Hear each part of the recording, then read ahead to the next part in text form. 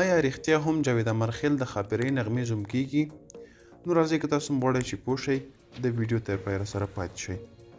سلام ستړي مه شئ وخت مو په خیر د افغان نیوز قدرمن لیدونکو ښه راغلاست د نن ورځې تازه او مهم خبر ته ښاپیرۍ چې په نغمه مشهوره ده د افغانستان مشهوره سندرغاړې ده نغمه دوه لوڼې او دوه زامن لري چې د لوړو نومونه یې لما او مدینه دي او د زامنو نومونه یې انور او خیبر دي. له دې وړاندې نغمې خپله یوه لور مشهور سندرغاړي شفیق مرید ته واده کړې وه. اوس ویل کیږي چې خپله دوهمه لور یو بل مشهور سندرغاړي جاوید امرخیل ته ورکوي. نغمه د لومړي ځل لپاره له استاد منګل سره واده کړی و. چي وروسته يې له هغه څلخه طلاق واخيسته او اوس د يو پخواني جهادي مشر له زوی سره واده کړی دی.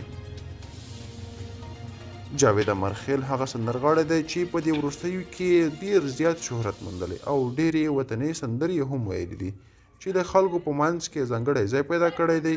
نغمې تازه جاوید امرخېل ته وړانديز کړی ترڅو د نغمې له دوهمي لور سره واده وکړي. خو جاوید امرخېل تر اوسه پورې په دې تړاو مثبت یا منفي ځواب نه دی ورکړی. دا چمتو کړې ویډیو تر بیاخې چارې ښه وخت.